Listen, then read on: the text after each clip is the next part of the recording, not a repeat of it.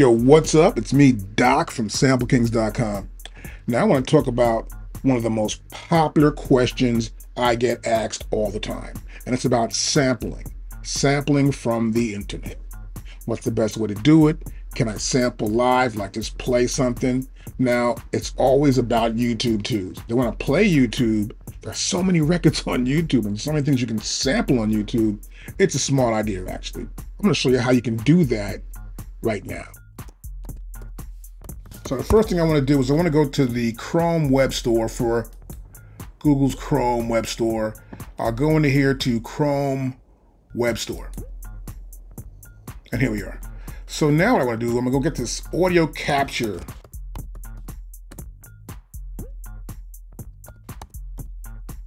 There we go. Right there. And here we go. And I come to here, right there, that's my Chrome extensions. They're all right there in one place on my browser. And I want to take the Chrome audio capture, I want to pin it so it shows up there. So we go to Chrome audio capture right there, I pin it, and there it is. If I click on this, you'll get to see some of these features here.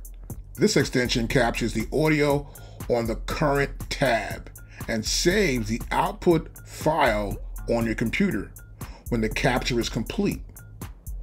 So you want to just capture the file and put it on your computer or in a folder.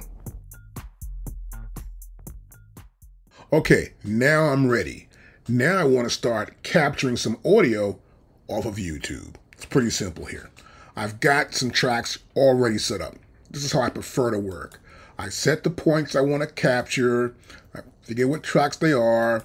I got all my samples lined up so I can pick them out, get them on there fast with no problems. I come right to here. There you go. There's Chubby Checker.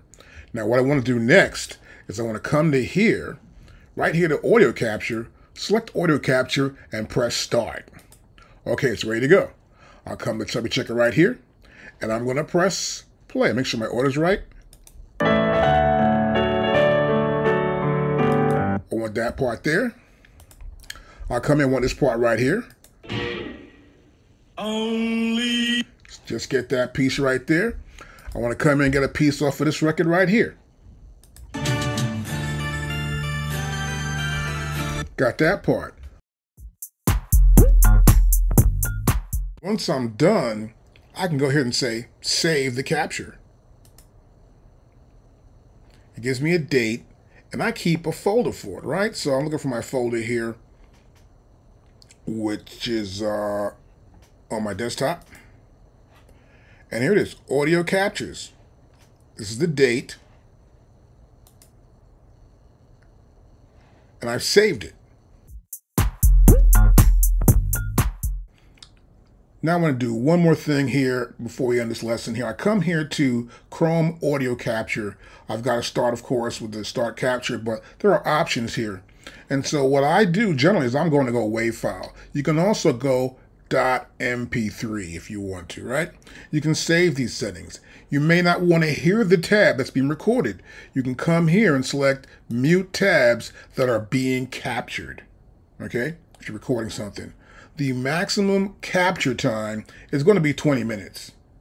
And to remove the capture time limit is not recommended because it might cause a problem.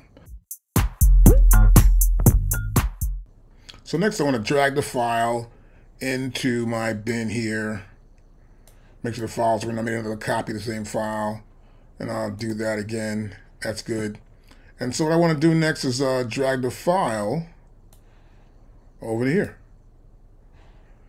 And it's right there. So now I want to do is I want to look at the file and there it is right there. I can see the file. I can make my start point.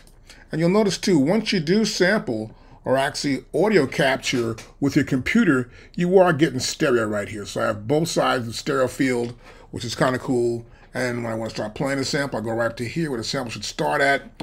I'll press play the sample from where it's at.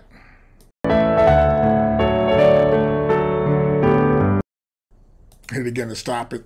And that's inside of the MPC software. So that was cool. It works in many softwares though. It's just an it's just a WAV file, so we're good to go. I can come into Maschine and do the same thing.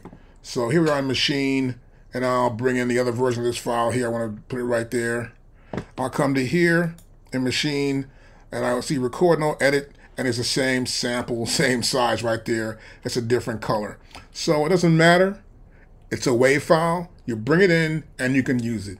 You can save a lot of samples if you want to, and it's kind of cool way to do it. It's audio capture with Chrome.